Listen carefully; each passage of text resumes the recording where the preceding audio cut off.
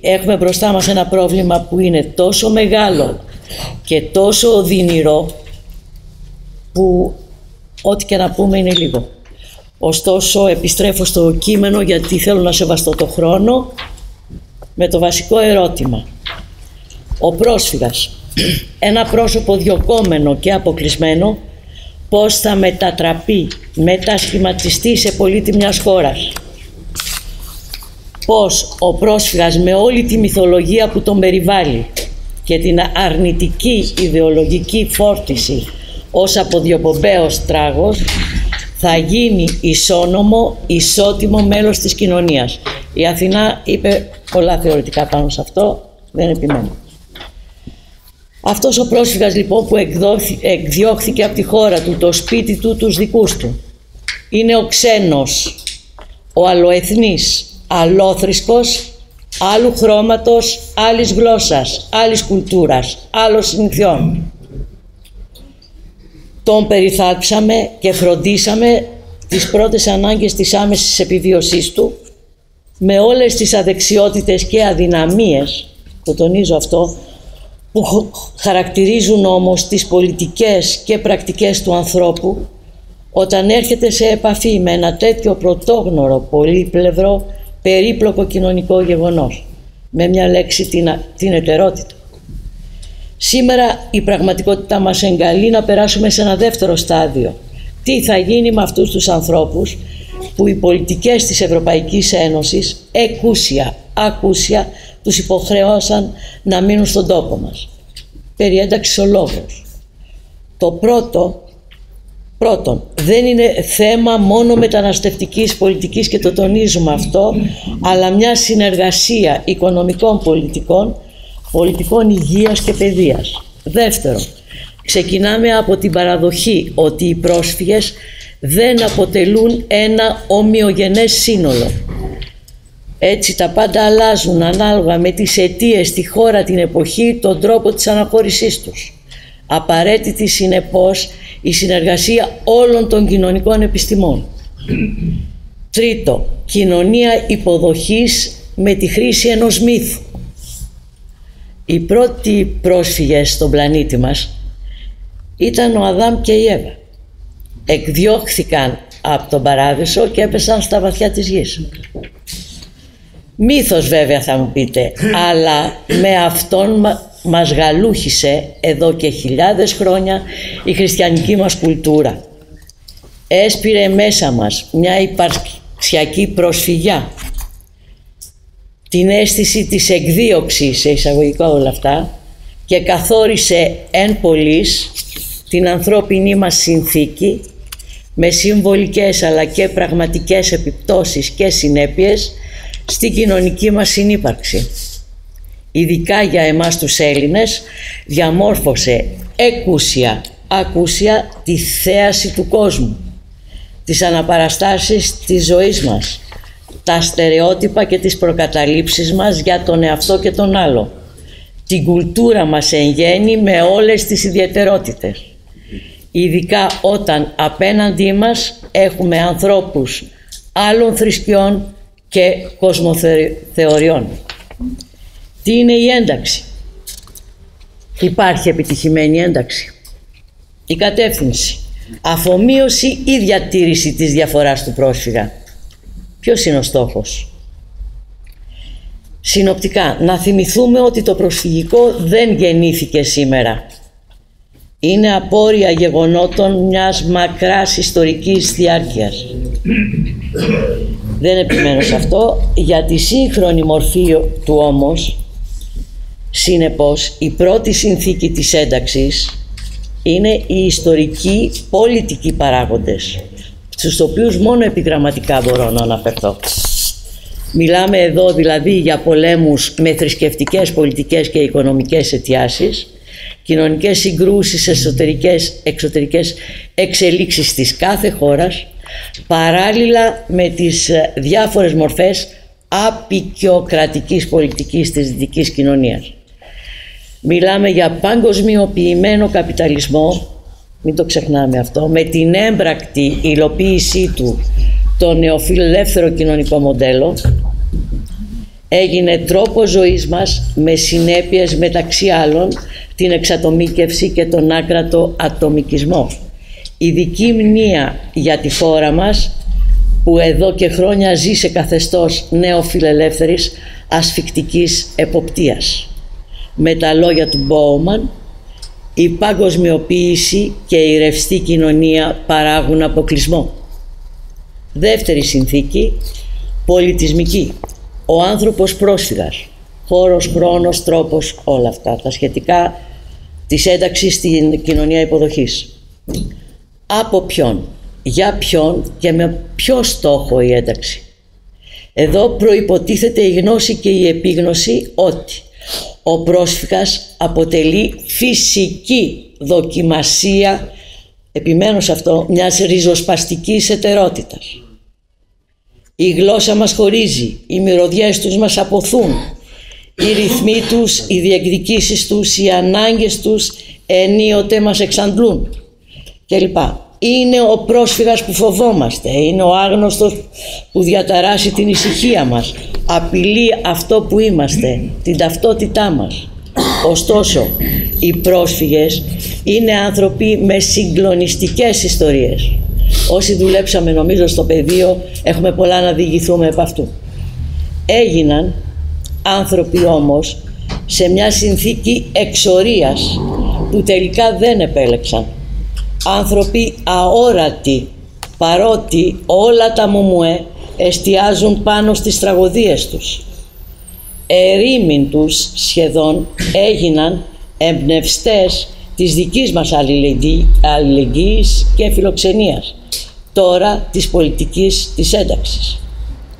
Εδώ ανήκει βέβαια που δεν μπορώ να επεκταθώ όλη η συζήτηση για τη διαχείριση αυτής της εθνοπολιτισμικής διαφορετικότητας μας παραπέμπει να δούμε τους μηχανισμούς της διαμόρφωσης της ταυτότητας και της διαφοράς.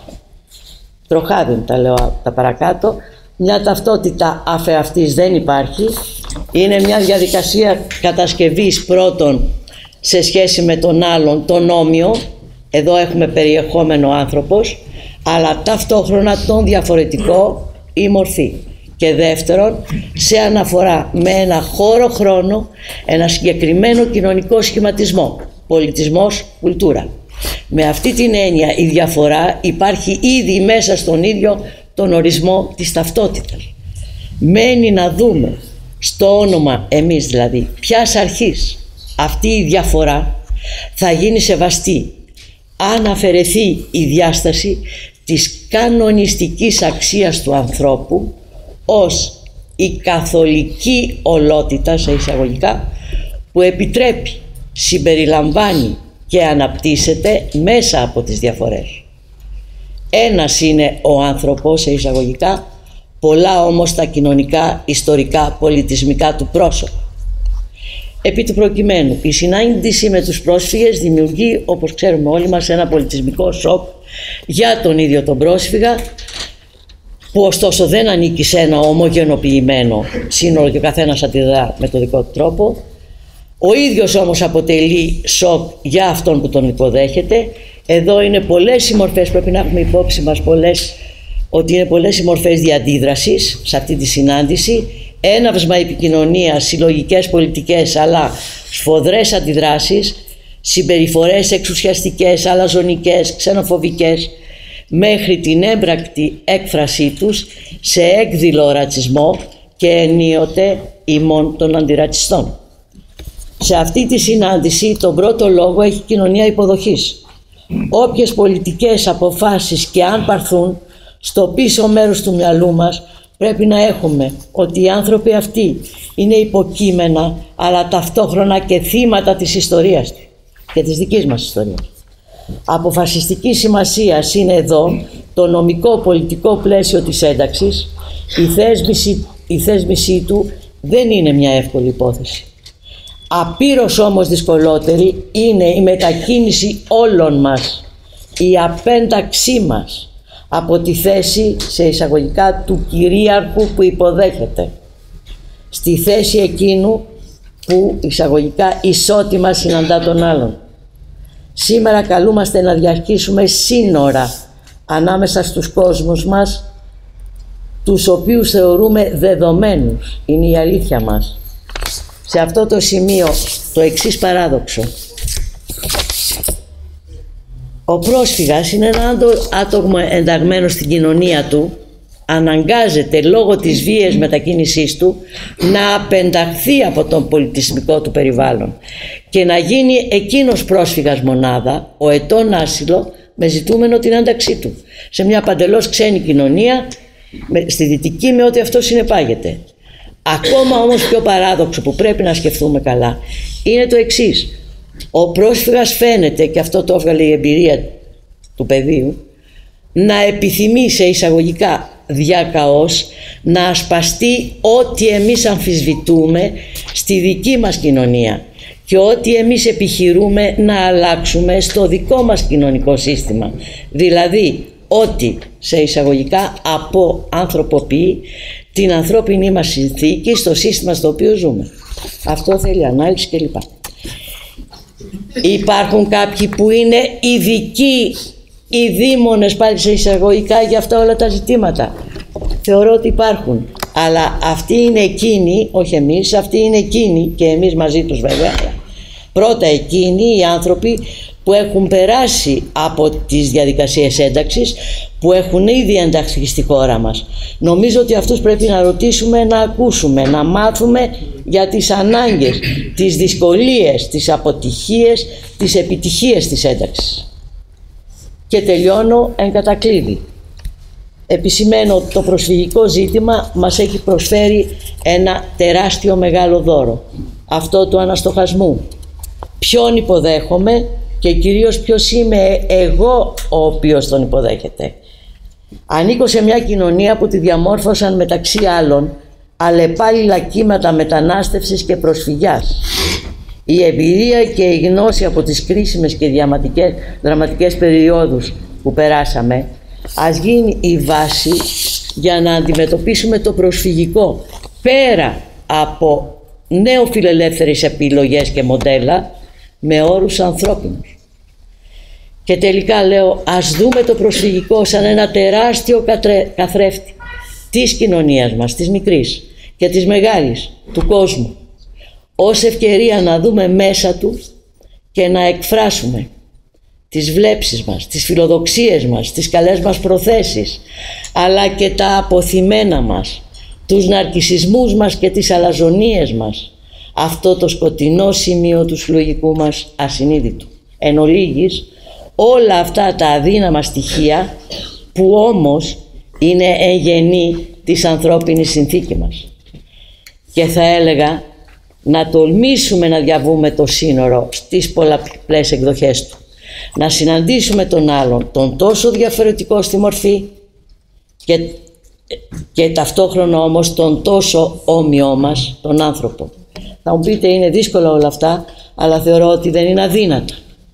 Σας αφήνω με μια μικρή γεύση από την ταινία του Κορνέλ Μουρούτσο, το φεγγάρι του Δία συνοψίζει νομίζω μεταξύ πολλών άλλων ταινιών αλλά αυτή είδα τελευταία όλα τα παραπάνω σε ένα αλληγορικό στα όρια του μεταφυσικού μύθο. Ο ήρωας που είναι άγγελος λυτρωτής για τις ξενοφοβικές ευρωπαϊκές μας κοινωνίες. Σε εισαγωγικά, ο κόσμος φοβάται πολύ τα θαύματα, λέει σε κάποια στιγμή στην ταινία και συνεχίζει εισαγωγικά.